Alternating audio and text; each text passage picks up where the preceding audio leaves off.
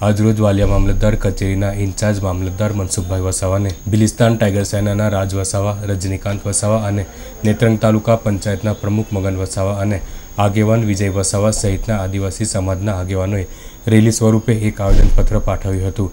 જેમાં જણાવ્યા અનુસાર વાલિયા બ્લોક નંબર બસો સાત અ પર વાલિયા તાલુકા પંચાયત પ્રમુખ રાજુભાઈ ઈશ્વરભાઈ વસાવાએ પચાવી પાડી હોવાના આક્ષેપ સાથે સીતારામ સેવા ટ્રસ્ટના સેક્રેટરી કનકસિંહ માંગરોલા અને તેઓના પુત્ર વિક્રમસિંહ માંગરોલાએ વાલિયા પોલીસ મથકે કોર્ટ દ્વારા પોલીસ ફરિયાદ નોંધાવી જેસીબી મશીન અને ખેડાણ કરી એક કર્મચારીને માર મારી જાનથી મારી નાખવાની ધમકી આપી. ટ્રસ્ટની જમીન પચાવી પાડવાની કોશિશ કરવામાં આવી હોવાની ફરિયાદ કરવામાં આવી છે.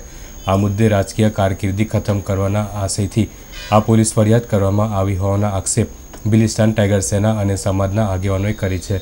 આ ઉપરાંત સીતારામ સેવા ટ્રસ્ટના સંચાલકોએ જ વિવાદિત સર્વે નંબર ઉપર ગેરકાયદેસર બાંધકામ કરી સરકારી તિજોરીને નુકસાન કરવા ઉપરાંત સરકારી કન્યા છાત્રાલય ચલાવી આદિજાતિ વિકાસ વિભાગમાંથી માસિક રૂપિયા સત્યાવીસ હજાર એકસો વીસ દરે વસૂલતા હોવાના આક્ષેપ કરવામાં આવ્યા છે.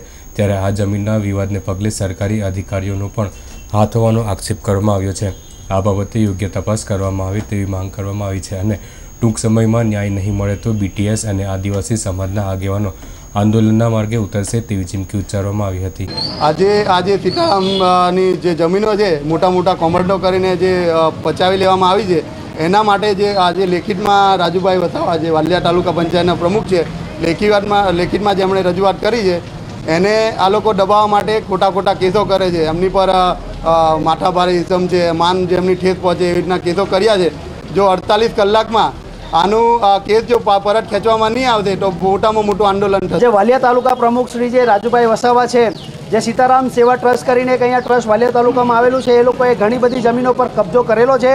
એ કબજો અમે છોડાવવા માટે એ જે ષડયંત્રો કરેલા છે, કૌભાંડો કરેલા છે, એને ઉઘાડા પાડવા માટે રાજુભાઈ વસાવાએ ઘણા વર્ષોથી એ મહેનત કરે છે અને એ કૌભાંડો ઉઘાડા પાડવા માટે એ લોકો આગળ ના આવે એટલા માટે એના ટ્રસ્ટીશ્રીઓ અને સેક્રેટરીએ ખોટો કેસ કરેલો છે, એમાં સરકારી પ્રશાસન અને પોલીસ પ્રશાસનનો દુરુપયોગ કરેલો છે.